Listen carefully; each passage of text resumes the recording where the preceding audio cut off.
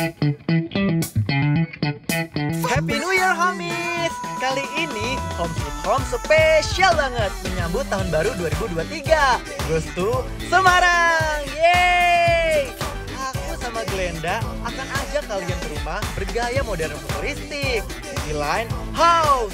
Selain itu, kita juga mampir ke homestay tradisional yang unik banget. Kebun Dalem. Makanya stay tune terus ya di Home Sweet Home Goes to Semarang. Happy weekend homies. Balik lagi di Home Sweet Home Spesial Semarang.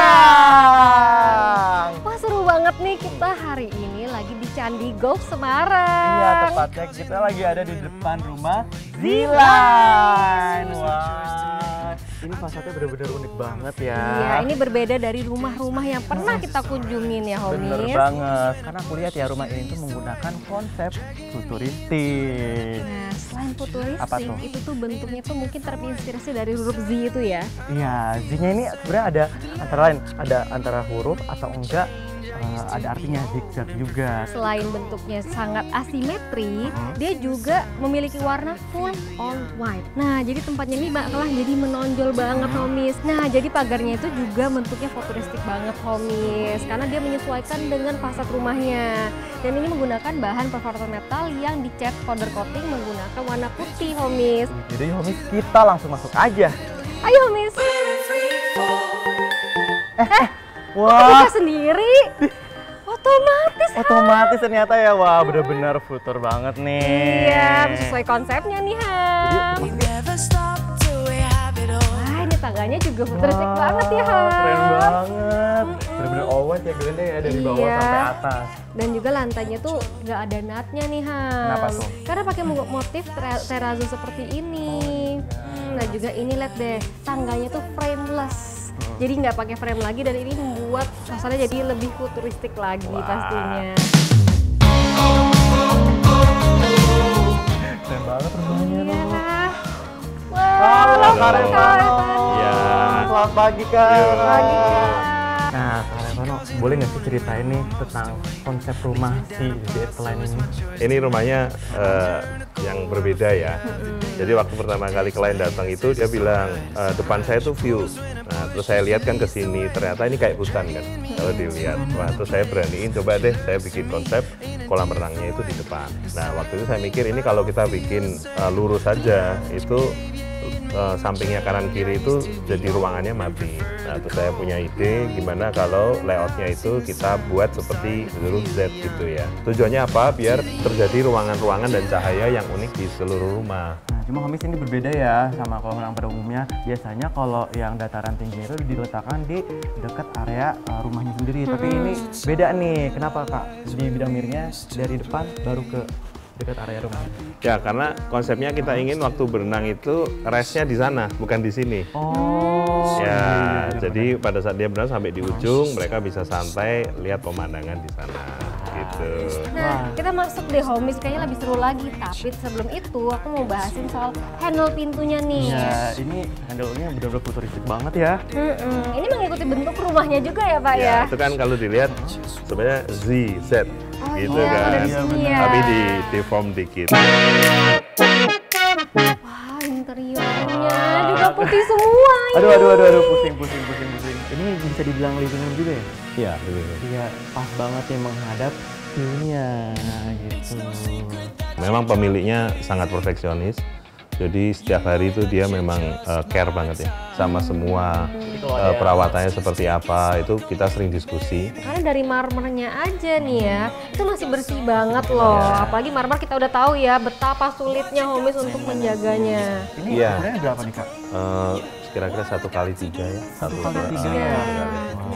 Pantasnya sambungannya nggak gitu banyak ya Han banyak, ya. Nah ini emang sengaja dibentukin sesuai bangunannya ya? Ya, ini memang pinginnya eh, sama di bangunan itu jadi satu dengan dinding-dinding yang ada yang di luar ya di fasad ya. Jadi kita inginnya waktu masuk itu furniturnya juga sebenarnya ngikutin. Ini di belakang Glenda nih ada apa nih? Meja dengan kursi yang super unik Ham. Super unik ya. Ini Bentuknya juga kayak Z ini. ini kayak dining area ya berarti ya? Ya, dining area. Dan ini semuanya juga all white nih dari Iya. mejanya, dari kursinya, Nah, geledak yang lebih futuristik lagi adalah ceilingnya tuh. Ada garis-garis yang diisi oleh eh, cahaya-cahaya yang panjang ini. Ini LED start ya Pak? Iya. Nah, Hmm, jadi ada ambience-nya dan warnanya pun juga kontras ya. Keep your love. Wah, pantry-nya juga masih sama ya, homies. All white. alright. Nah, untuk ini dari apa ini Kak? Ini batu buatan ya biar anti bakteri aja. Jadi kalau zaman sekarang kan banyak ini ya. Dulu kan marmer semua Iya, rata-rata ya, benar, tapi sekarang kan dan- produk banyak. Jadi ya biar lebih higienis deh. Nah, tapi yang unik juga ya homies ya, ini nih kabinetnya. Ini kalau kabinet kan biasanya apalagi yang di atas ya kabinet atas ya, itu tuh bentuknya lurus doang. Nah, kok ini ada sisi miringnya nih. Iya. Terus itu yang bolong-bolong apa ya? Itu buat eh, colokan listrik sama matiin lampu. Oh, Ah. Ini ya, ambience Iya. LED ini ya. Homies unik banget loh ini. Jadi Tuh. disembunyiin di situ dan kesannya itu di masih masuk dengan interiornya.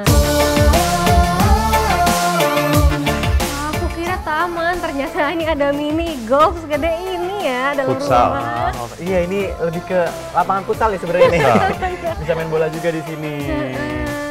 Ini orang rumahnya tuh hobi banget ya sama golf ya sampai Iya. bisa buat sebesar ini. Sampai juara anak-anaknya jago. Iya. Tapi malah menambahkan yang hijau-hijau di rumah juga ya. Jadi kadang di rumah kan taman jadinya. Ini malah jadi sesuatu yang unik karena ada mini golf dalam rumah.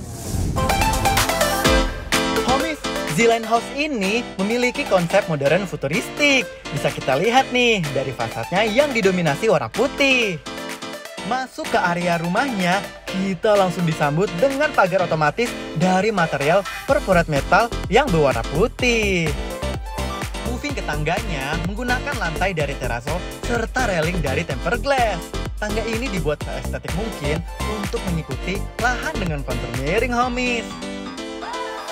Wah, homies, masuk ke dalam rumahnya, kita langsung disambut dengan infinity pool yang super besar. Dan pemandangan yang cantik banget. Waduh, berasa lagi staycation gak sih, homies?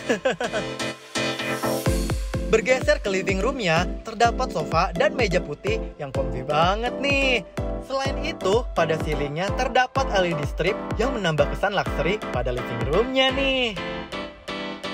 Pada dining areanya, terdapat meja putih besar yang muat untuk 8 orang loh. Selain itu, terdapat kabinet berwarna putih yang dibuat mengikuti bentuk fasad setinggi ceiling yang bersebelahan langsung dengan kitchen areanya nih homies. Unik banget nih homies. Di Zealand House ini terdapat area mini golf yang cukup besar dengan pemandangan yang memanjakan mata. Percaya nggak sih homies? Di rumah Zealand House ini terdapat lorong estetik yang atapnya dari vinirwood loh. Hmm, kepo nggak sih? Jangan ke mana-mana, tetap di Home Sweet Home!